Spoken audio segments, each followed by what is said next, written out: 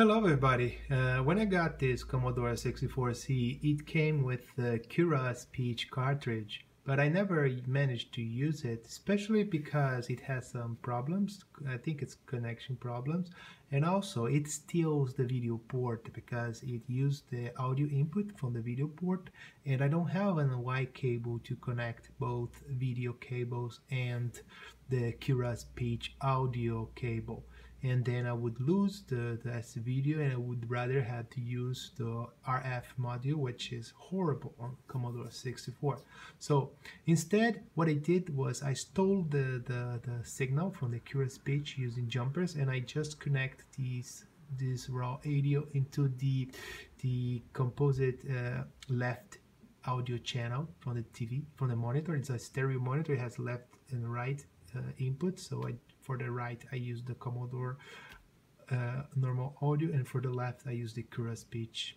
output. It's just uh, just the audio and the, the ground and it works. So when you turn on the, the Commodore 64 with the Currah speech cartridge you have to initialize the, the, the routine.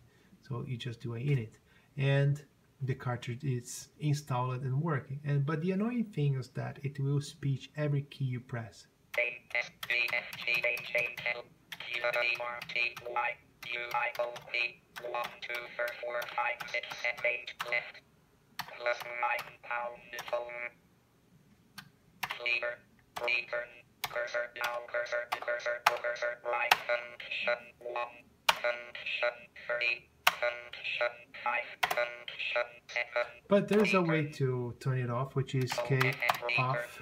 with that it stopped uh, this feedback this echo speech.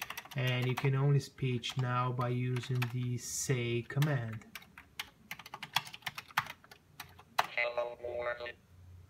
And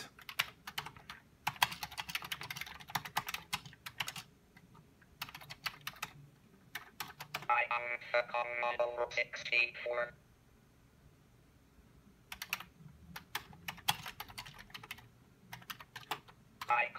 page.